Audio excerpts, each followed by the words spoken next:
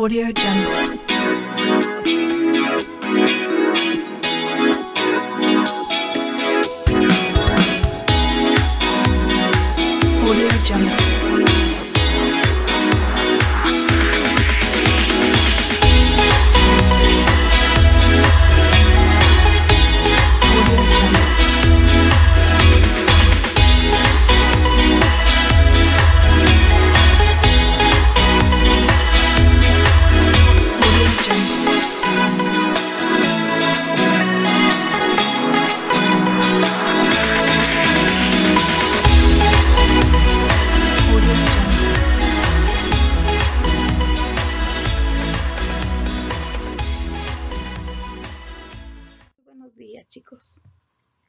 En esta ocasión veremos el tema la función de la autoridad en la aplicación y cumplimiento de normas y de leyes.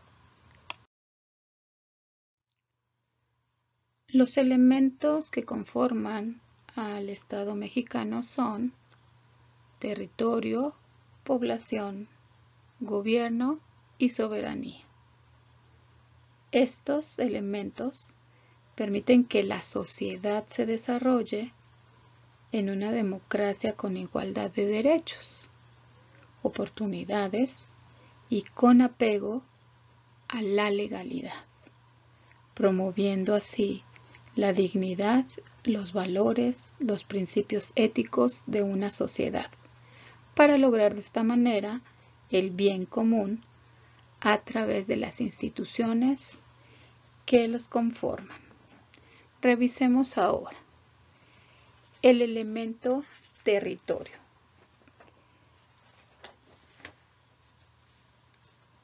Es el espacio que ocupa la comunidad de un país.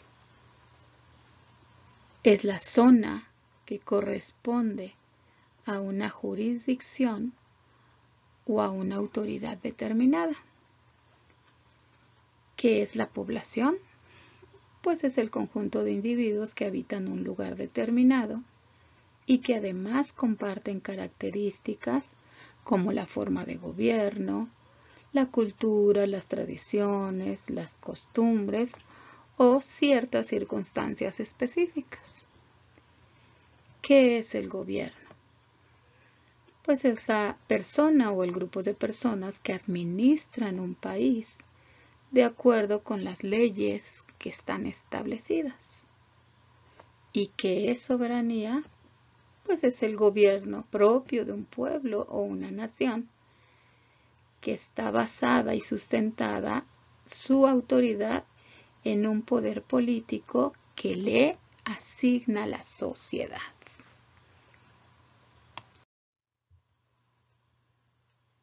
Para lograr una convivencia armónica y vivir con base en un Estado de Derecho, es indispensable e importante reconocer a nuestras instituciones y fomentar una cultura de la legalidad. Sin embargo, hay actos que atentan contra el Estado de Derecho. Revisemos algunos. La violencia. Los altos índices de violencia que hoy en día se viven en nuestro país son actos que atentan contra el Estado de Derecho. La corrupción. Cuando de pronto no se asume una falta cometida y se paga por ella y en lugar de esto, de alguna manera se toma un camino corto para no pagar la sanción de acuerdo a la falta, le llamamos corrupción. Otro ejemplo, la delincuencia, los robos, los asaltos, los secuestros. Son actos que atentan contra el Estado de Derecho. Hablamos ya entonces de los robos.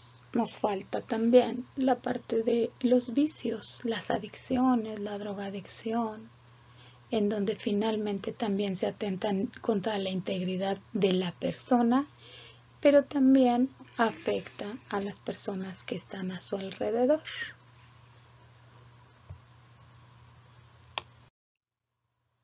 revisemos ahora la contraparte, cuáles son los elementos que fortalecen a la convivencia. La justicia. En algún momento lo hablábamos, que la justicia es darle a cada quien lo que se merece. Y en este sentido es un valor aplicado que fortalece la convivencia. La igualdad. Cuando hablamos de derechos humanos, sabemos que se deben aplicar para todas las personas por igual. Cuando hablamos de equidad de género, también hablamos en este sentido de darles la oportunidad por igual. Igualdad de oportunidades hombres y mujeres. Igualdad de oportunidades a las distintas personas y a sus diferentes condiciones. La participación ciudadana también es muy importante para fortalecer la convivencia. El no solo dejar en manos de otros la parte de fortalecimiento de la convivencia, sino también nosotros ser proactivos en este fortalecimiento. La participación ciudadana es muy importante. Y cuando hablamos de leyes y normas, pues obviamente hablamos de la base de nuestra sociedad. Es lo que nos rige, lo que rige nuestra conducta, nuestro comportamiento, lo que nos pone límites cuando de pronto podemos nosotros de alguna manera afectar a otro. Estos son entonces cinco elementos que fortalecen la convivencia en sociedad. Por último, nuestra actividad del día consiste en leer y resolver de la página 119 a la página 127. Recuerden enviar al correo donde han estado enviando las evidencias de su trabajo. Le sacan fotografía la actividad ya resuelta y me la envían como siempre lo han hecho. Que tengan excelente día. Cuídense mucho. Saludos.